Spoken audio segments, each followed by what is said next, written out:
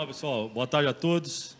É, mais uma vez, com muito prazer, a gente apresenta mais um atleta que vinha no nosso radar já há bastante tempo.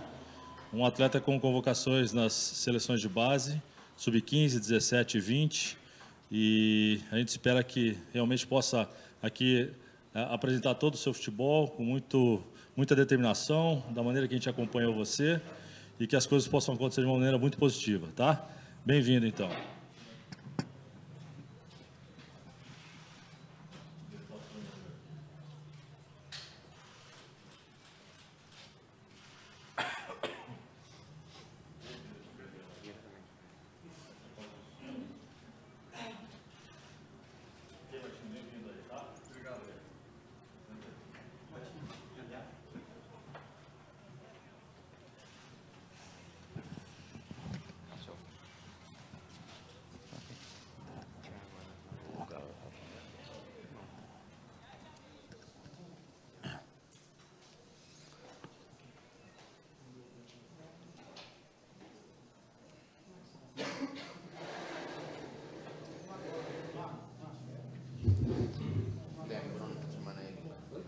Depois que acabar o Martim, aí o Galo atende vocês. Ah, beleza. Puxa lá. Aí. Isso, eu avisei que vai pra cá.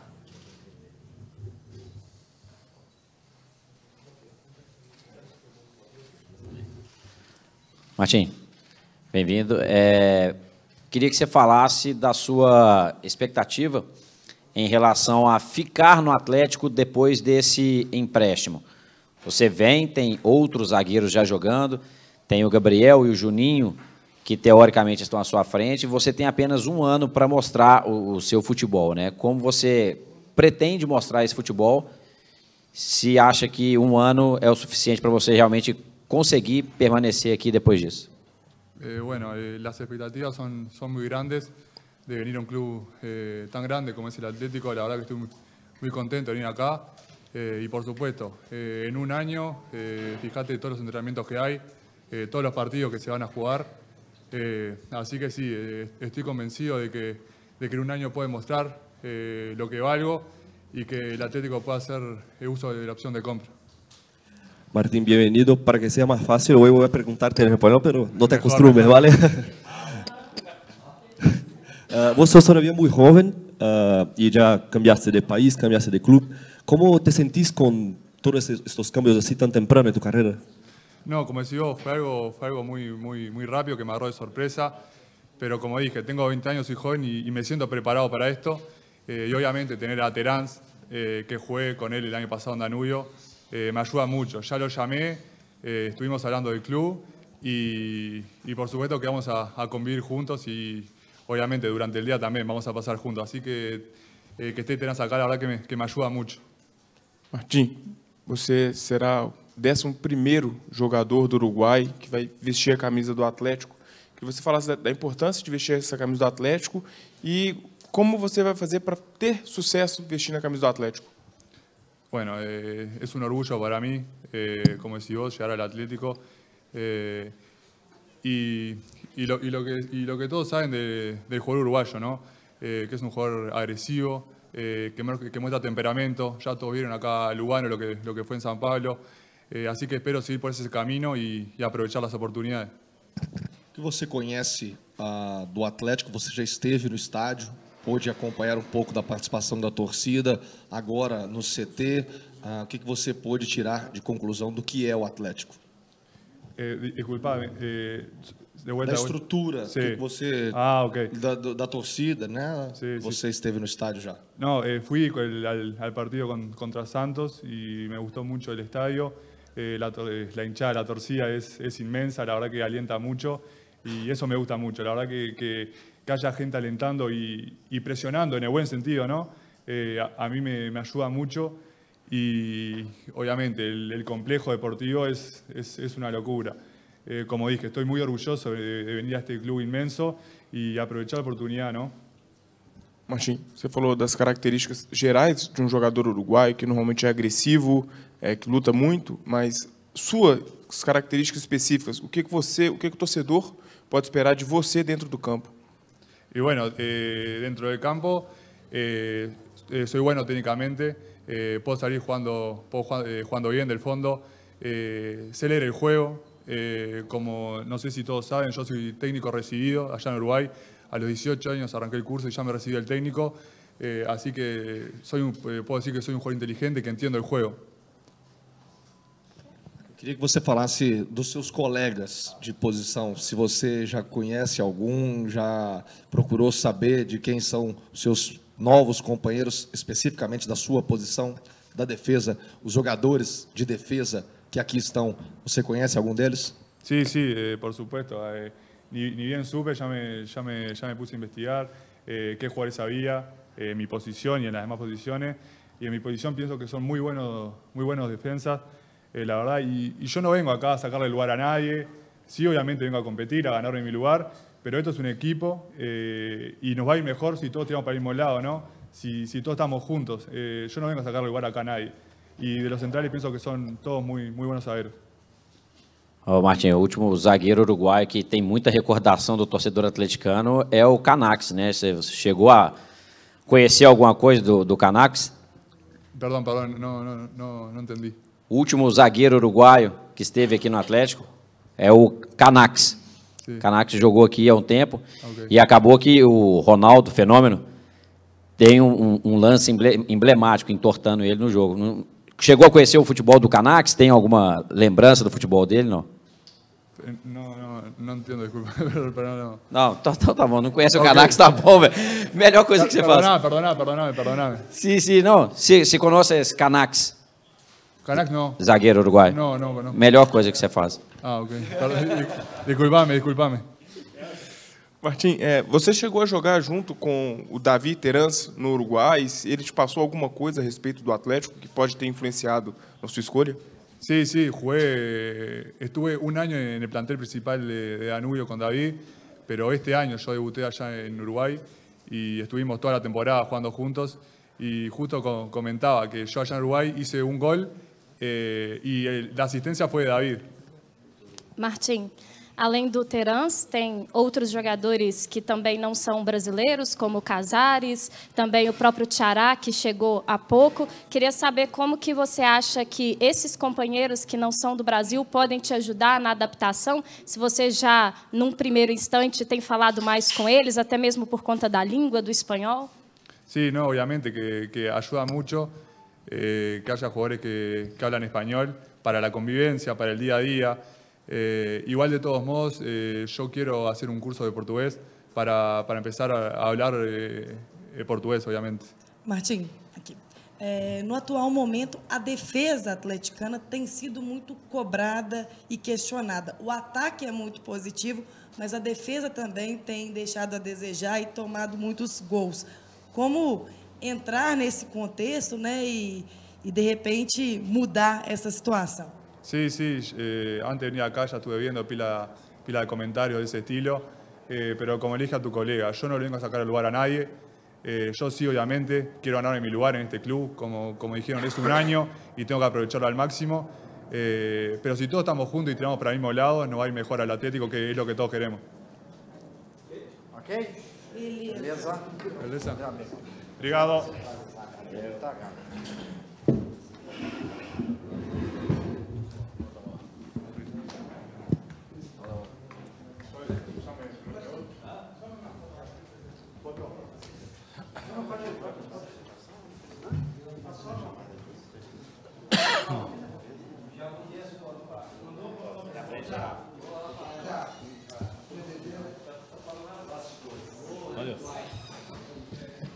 Nuno. Pode começar? Só lembrar a todos né, que ele veio, veio por empréstimo com o preço do passe fixado. Né? Não, preço, não. Preço bom. Vamos lá?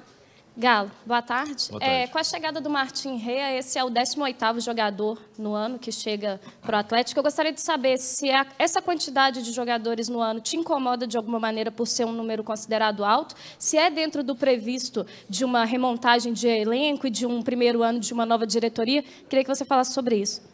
Sim, é exatamente isso que você, da maneira que você colocou. Para uma remontagem, é um número aceitável E é claro que não para os próximos anos isso não vai acontecer. Até porque nós temos, eu acho que sete jogadores emprestados, desses sete, somente quatro acabam o contrato agora em dezembro. O resto, todos os jogadores, inclusive estamos tá, amanhã para ter um, um, contato com o agente do Adilson, né? que é o, um dos últimos remanescentes, então nós não temos praticamente renovações de contrato no final do ano. É isso que a gente esperava numa remontagem de elenco, para justamente a gente ter mais tranquilidade, não precisar fazer esse número, porque nós precisávamos realmente mudar a característica do grupo. Então, não só a questão da contratação para a gente é, tem que diminuir, como também a saída de muitos atletas da maneira que saíram, que nos onera bastante, e, e, que nos, e para os próximos anos isso aí vai ser evitado. Galo, ah, quando você a gente conversa, entrevista dirigentes do futebol brasileiro, todos dizem que o futuro do futebol passa muito pela formação de atletas, pelas categorias de base e, consequentemente, pela colocação desses jogadores na equipe profissional. O Atlético está apresentando hoje um jogador de 20 anos, do Uruguai, um zagueiro, é, e em tese vai na contramão de tudo isso que se coloca como premissa para o futuro do futebol brasileiro. O que, que leva um clube do Brasil a buscar alguém tão jovem, tão inexperiente, né, só 13 jogos na equipe profissional, que é uma aposta, e não apostar efetivamente na sua categoria de base? Nós apostamos muito na categoria de base. Isso tem acontecido bastante. Tendo em vista os, os jogadores que estão aqui hoje no elenco, da categoria de base, nós temos hoje, se não me engano, são 24 atletas abaixo de 23 anos.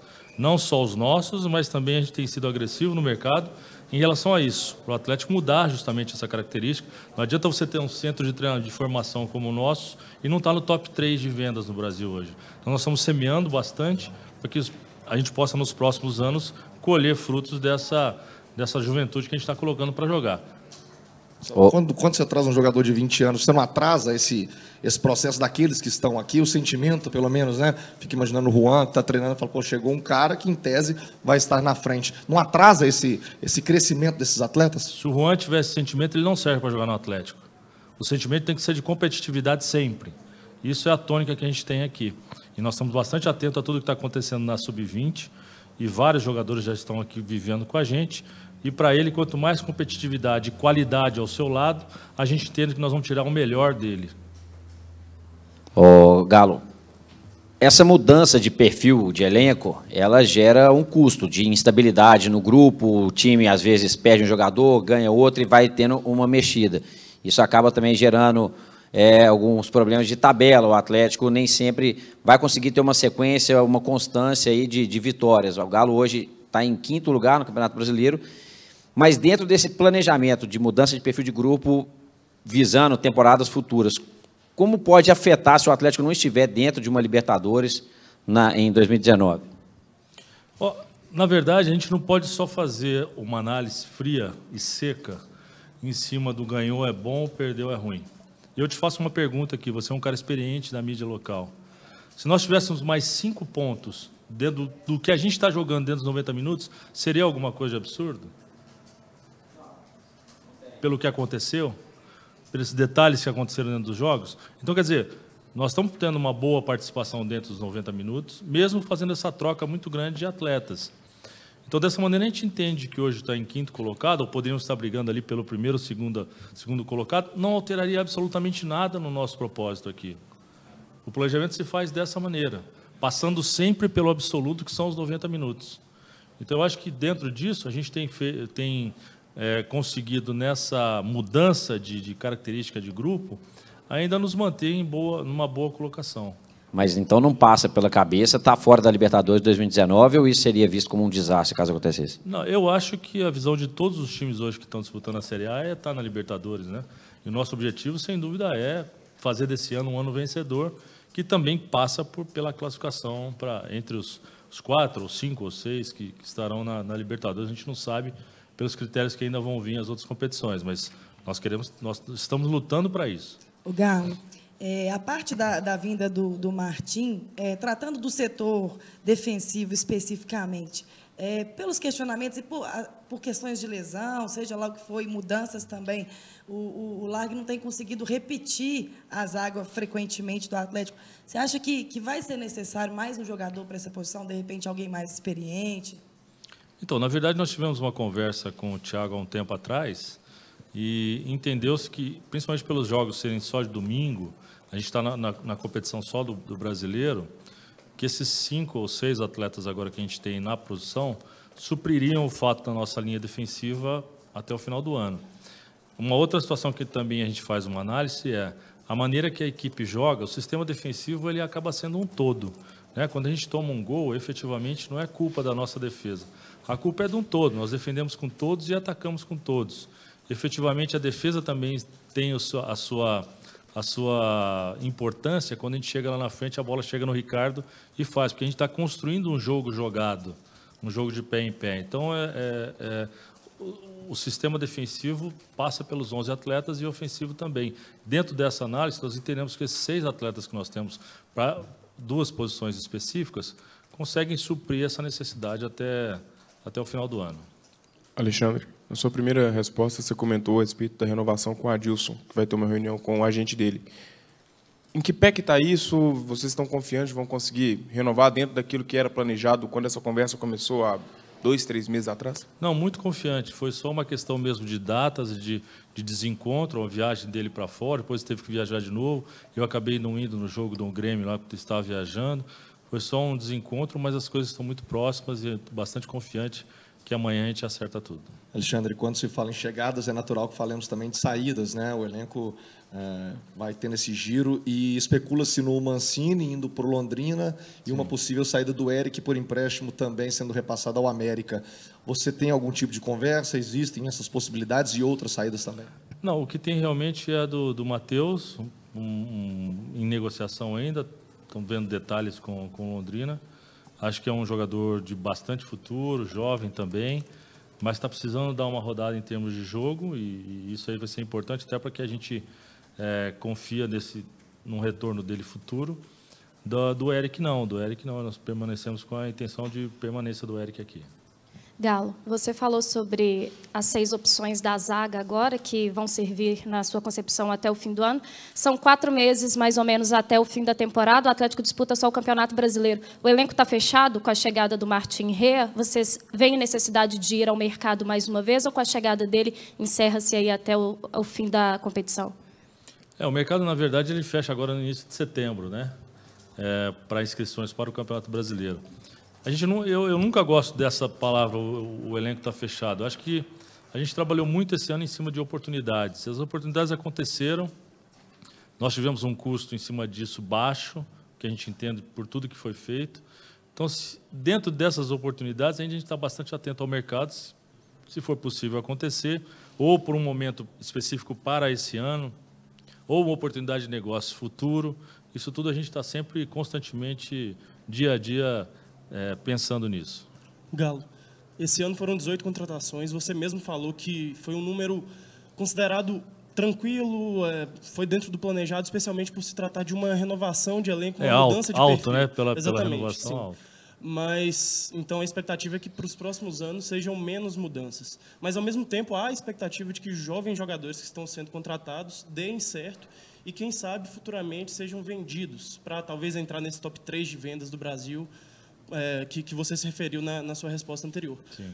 Não é meio contraditório esperar venda e, ao mesmo tempo, esperar que não haja muitas contratações para eventualmente suprir venda, se esses jogadores derem realmente certo? O futebol ele não, ele não, pode, não pode esquecer que ele acaba sendo uma, uma, essa reposição de atletas uma situação natural, importante e necessária. Né? Hoje nós não temos uma economia como a europeia, que de sustentação de um elenco por cinco, seis anos, como acontece. Então, efetivamente, não, não, é, não é só nós. Todos os times brasileiros eles dependem dessa questão da financeira, que é da venda de atletas. O que nós estamos fazendo é semear para isso, isso acontecer. E nós queremos que os jogadores deem certo aqui. Para eles darem certo aqui, efetivamente, nós perdemos financeiramente em função do que a Europa ou que a Ásia apresenta. Um atleta nosso jovem, vou dar um exemplo do Bremer, né, que jogou quatro ou cinco jogos e acabou tendo aí duas, três opções de venda para a Europa que não, nós não conseguimos segurar e não vamos conseguir. Diante disso, a gente entende que vai ter dividendos importantes quando esse número maior de atletas, como foi já no jogo do Santos, estarem jogando com jovens atletas aí importantes e manterem um bom nível de futebol e nós temos boas perspectivas para o futuro. Galo, a maioria das contratações esse ano foram sem tantos gastos do clube mesmo. E diante do fracasso em algumas competições e essa possibilidade de luta pelo título brasileiro, você acredita que essas contratações, esse investimento que o clube fez, é, foi válido? Vocês considera é, considera o resultado até aqui satisfatório em termos de resultado? Acredito que sim. Acredito que hoje a gente recebe constantemente ligações de outros clubes aí nos parabenizando por essa estratégia específica para uma mudança de conceito do Atlético.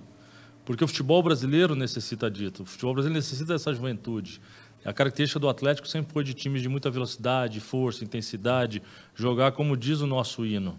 Então, por isso, acho que quanto mais a gente puder rejuvenescer com qualidade, eu acho que o futuro possa, é claro que alguns erros vão acontecer, mas o futuro pode, é, pode ser brilhante em relação a essa, esse reajuste de característica de equipe. Ok, beleza. Valeu, pessoal. Um abraço aí.